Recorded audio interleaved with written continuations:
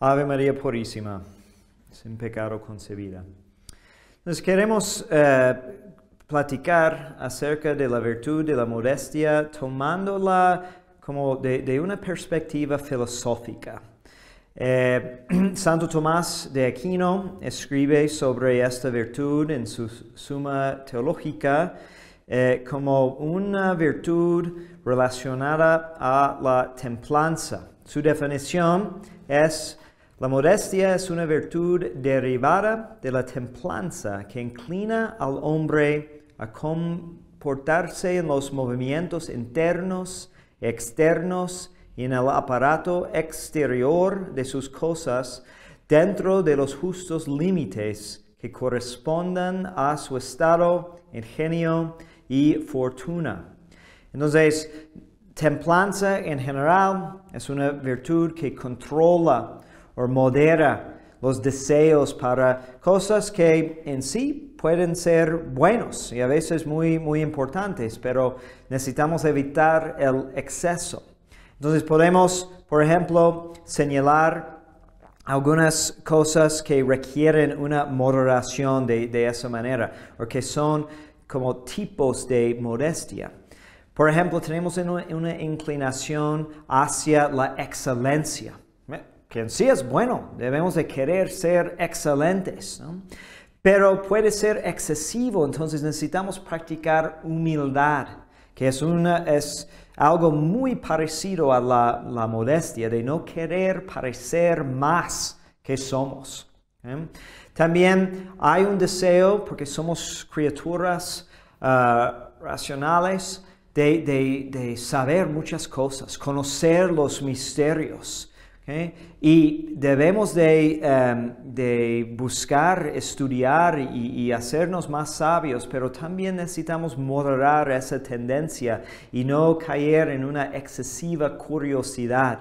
Entonces necesitamos la virtud de estudiosidad que nos hace aplicarnos a un, tema, un, un, estudio específico para entenderlo completamente y no solamente por partes. También hay una modestia que eh, controla los movimientos del, mismo cuerpo, que se llama modestia corporal, y luego en el ornato, como nos adornamos. Entonces, cuando hablamos de modestia corporal, pues aunque tal vez no usamos ese término, es algo que debemos de entender por sus aplicaciones. Debido decoro que toma en cuenta la dignidad de la persona y las personas que nos rodean y los lugares donde nos encontramos. Entonces hay ciertas cosas que debemos de entender que no son modestas en cuanto a nuestro comportamiento. Santo Tomás eh, menciona, por ejemplo, carcajadas ruidosas, o también miradas fijas. ¿eh?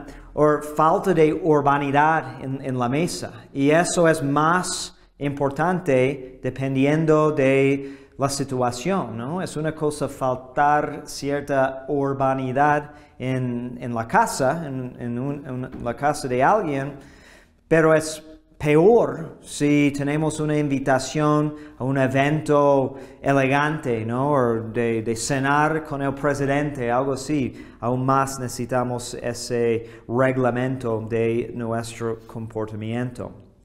Porque todo eso comunica algo de la persona.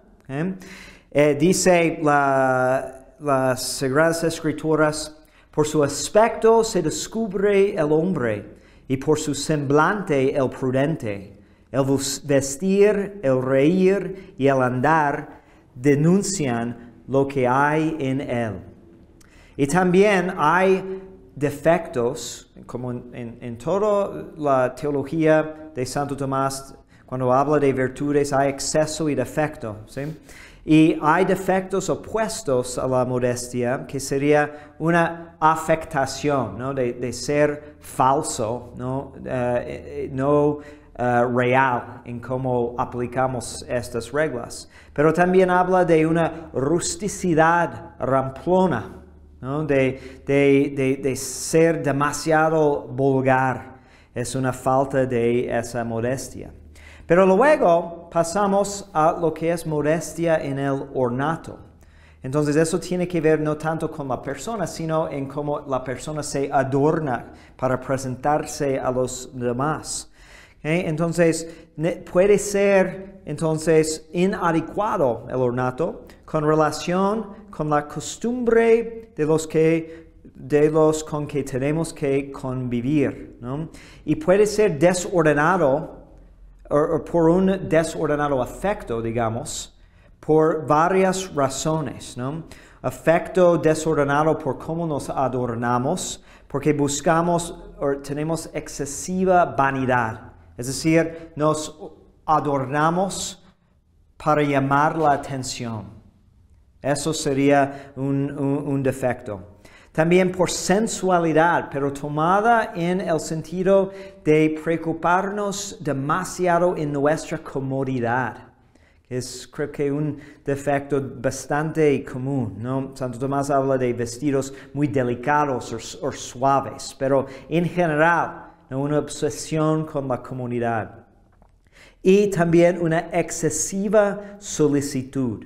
Es cuando uno piensa demasiado en, en modas, en, en, parecer lo más reciente o más actual, según lo que es más popular. Dice el padre Antonio Royo Marín, un teólogo tomista, en, su, uh, en, un libro sobre um, la perfección cristiana, dice que estos vicios son vicios ridículos. ¿eh?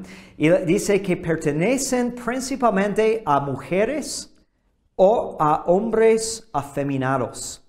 Porque en todo caso, y luego tenemos que hablar más de qué quiere decir cuando dice afeminado. No es de decir nada mal en contra de las mujeres, sino es refiere a una tendencia de evitar a todo costo lo que requiere sacrificio o eh, eh, de, de, perder un placer. Es un afecto desordenado hacia el, placer.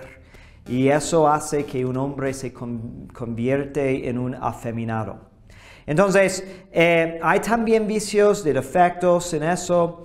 Cuando alguien em, quiere presentarse indecorosamente o cuando aprovecha de su sencillez para llamar la atención a sus supuestas virtudes, ¿no? Mira, no me preocupo por nada de cómo me he visto porque soy tan humilde, ¿no? Eso sería también defecto. Y para terminar esta reflexión, quiero eh, enfatizar de que hasta este punto no hemos mencionado nada acerca de lujuria.